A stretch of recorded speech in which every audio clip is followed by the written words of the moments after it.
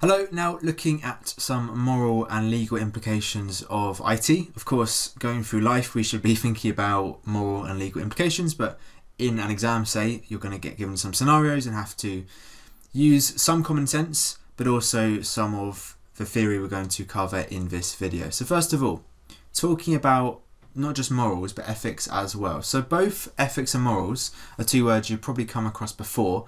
Both are all about distinguishing between right and wrong. And all of us have our own perceptions about right and wrong. Certain actions we would consider to be good, you know, being kind to someone, whereas if you are going to bully someone, most of us would consider that to be a wrong action. And that sort of society has got that view, but morality is generally to do with our personal view. So you can use ethics and morals fairly interchangeably, but generally speaking, morality is about what our own opinion is. So, for example, maybe you've got a pacifist, someone who believes in peace and doesn't want to go to war at all. They may say, well, it would be morally wrong to design a computer system for the military.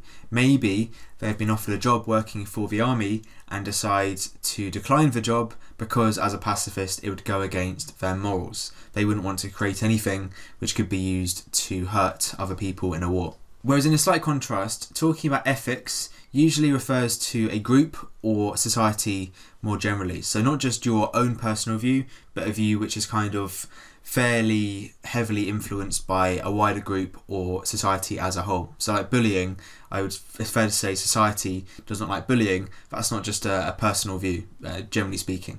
So, to think about IT, um, we have so maybe you have a person who's a member of the British Computer Society, the BCS, which is a organisation which represents people who work in the IT field in the UK.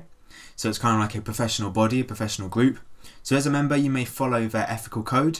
So the BCS have an ethical code which has various points, but one of them is requiring careful use of confidential information. So you can't just disclose it, you can't just send it to third parties, to other people. So you belong to this group. This group has their own ethical code, which has kind of been decided by lots and lots of individual people, and they've sort of agreed on a set code. And one of the points might be not just sharing information with other people. So both morals and ethics do rely on opinions and our own view, but um, morality is usually individual, whereas ethics is usually a little bit of a wider decision. So going from ethics and morals to legislation, legislation is another word for a law. So a law can be thought of as legislation. Technically, legislation is when it goes through a parliament, but that's not hugely important. So some immoral or unethical actions are punishable by law and some are not. So ethics and morals sometimes lines up with law, sometimes it doesn't.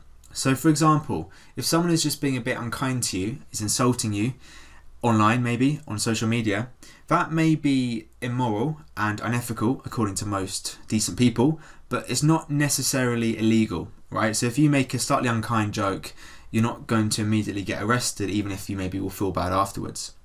However, depending, you know, if you take this further and if someone says something which is seriously untrue about you and causes major damage to your reputation, your reputation being what people think of you, that may be both immoral and unethical, but also illegal. So some things can be just immoral, but not illegal, and some things can be both. So this is this becomes illegal because of the legislation, the Defamation Act of 2013, and this whole process where you are, where someone is being so unkind or or lying about someone to damage their reputation to a serious extent is called defamation of character and is illegal according to this law.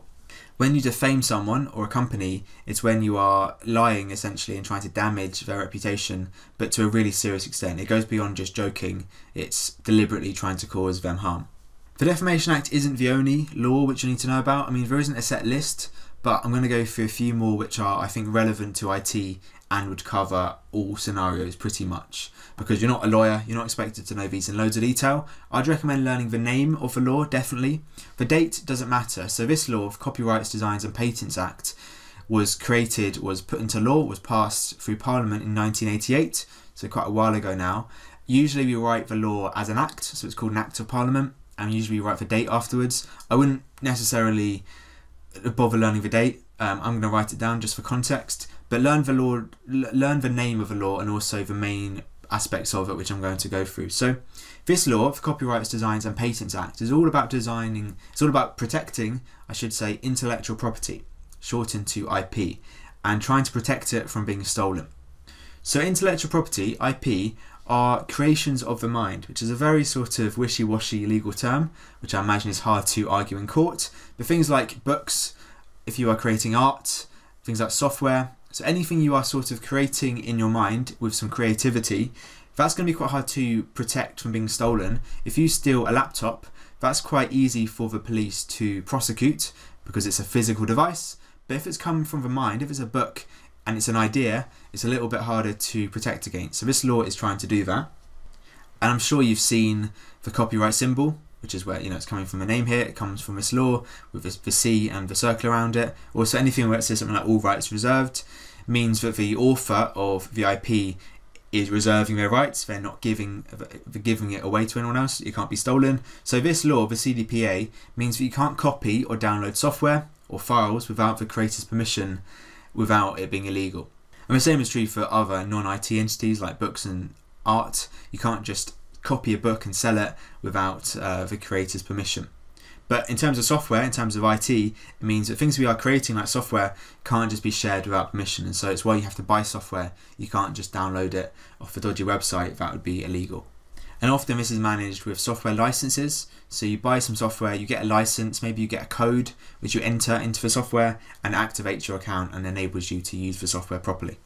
And the usual punishment for the CDPA is a fine, whereas the Computer Misuse Act from 1990, a couple of years later, can lead to a jail sentence, not a long one, usually in the UK. In America and other countries, you can go to jail for a long, long time for doing something like hacking or creating malware. In the UK, you can go to jail, but usually it's not quite as severe. So, as opposed to the CDPA, which is more about stealing stuff, this is more about actually the act of trying to hack into a system, trying to distribute malware, and so on. So, we're thinking more about for black hat hackers here. For white hat hackers, are not.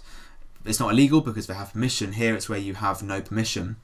So the CMA makes it illegal to access computer systems without permission of the owner of that system. So you can't just hack into a system, you have to get permission, otherwise it is illegal according to this law. You also can't just impair a system. So, you know, if you're hacking into it, you may just be trying to steal information. But you can also damage a system, right, with hacking, maybe with a DOS attack. If you are spamming a system to try and stop it working, that is said to impair the system, is to stop it working properly. Maybe even the system stops working totally and that is also illegal according to this law. The Health and Safety at Work Act of 1974 is a bit less dramatic than the Computer Misuse Act. This is more just about making work spaces safe for employees, which is important. I mean, IT jobs tend, tend to be in particularly dangerous situations. If you work in a factory where lots of moving parts, maybe that is quite dangerous. But if you're in an office, which is where most IT workers work, the same risks do not apply. Here, the risks are things like not having enough breaks. As an employer, you have to provide enough rest breaks. You can't just force an employee to sit at their computer all day. Also, you need to make sure any equipment like screens and chairs are safe for long continued use. If you've got a screen which is really dim or really small or is far away, it could cause issues with the employee's eyesight. Also, a chair is quite important if you're getting them to sit on a really old, uncomfortable chair. That could cause some health issues. And so employers do have a responsibility under this law to make sure that workspaces are safe enough and comfortable enough for employees. And because IT workers are going to work in situations with electricity and loads of wires and potentially potentially some dangerous equipment, also of course that needs to be made safe. Um, it's why electrical equipment will, will often get tested uh, every couple of years and you'll get a sticker put on it to make sure it's safe. That sort of thing would be covered under this law. And the final law, the final piece of legislation I want to talk about is the Data Protection Act. A really important one which was last updated in 2018 as I record this. There was an older version, but um, it hasn't significantly changed. And this is designed to protect personal data from misuse, as the name would suggest. So, this is the UK's implementation of the European Union law, the GDPR, which you may well have heard about. The GDPR was a reason why lots of websites nowadays always ask you for your permission to accept cookies and various other things. It can be quite annoying sometimes, but it's all based on this law, and the DPA is the UK's version of GDPR. So we should say what personal data is. So we know what data is, just a raw fact or figure. Information is where we add some meaning to it. Personal data is information which can be used to identify a person. So if we can look at some data, or really it would be information in that case, and know who it belongs to, that would be personal data. So your name, your address, and also other more sensitive personal data, which is protected even more, are things like biometric data, so your fingerprint maybe, that's really valuable. Health data, so maybe your medical history. Your beliefs, like political or religious, that's quite private. Your ethnicity, that's quite important. You don't want people to know that necessarily. Things like your sexual orientation, and so on. So things which are definitely identifiable to us, but things we don't want companies to, we want them to take special care with because they are so private to us. Your name and your address is fairly personal, but is not nearly as sensitive as things like your sexual orientation. And this law is very, very extensive, and so we're not going to go through all of the points, just the key points, the things which organisations must do to protect individuals. So they must inform individuals that their personal data is being used and how it's being used. That's why we get those messages on websites saying, Do you accept us collecting this, this, and this? Most people don't read it, but technically, that is a website informing you that your data is being used and you must consent to your data being used. So they can't just assume you are accepting, like they used to be able to. You have to actually click a button or give your permission to have data collected about you. You can also, as an individual, you can request access to see what personal data an organization stores about you. So if you want to know what Facebook store about you, or Google, or YouTube, you can technically contact them and they need to provide the data to you if you want to know what they're storing about you. And also, somewhat related to this, you can have your data deleted, which is quite important. If you decide actually you don't want Google to have data about you, you can ask Google to delete it and they need to delete it under the law. You can also update it.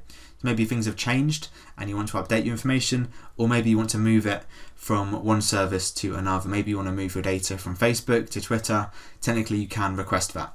And the punishment for organisations not following these steps, not following the law, is usually very, very large fines. It can be millions and millions of pounds in some cases. So there is a big incentive for companies to follow the law in this case.